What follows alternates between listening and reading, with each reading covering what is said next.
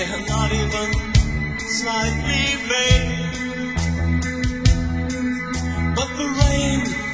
from the gutters of the British Museum